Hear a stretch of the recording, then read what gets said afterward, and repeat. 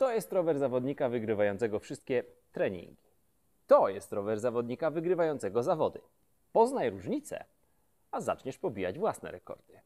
Zawodnik, który wygrywa tylko treningi, jeździ zawsze z dużej tarczy, czyli z blatu, bo wstyd jest zrzucać na małą. I chociaż widać wyraźnie, kiedy się z nim jeździ, że brakuje mu przełożeń, to jego długie, wytrzymałościowe treningi prawie nigdy nie są w pierwszej i drugiej strefie, bo zawsze trzeba pociągnąć z blatu.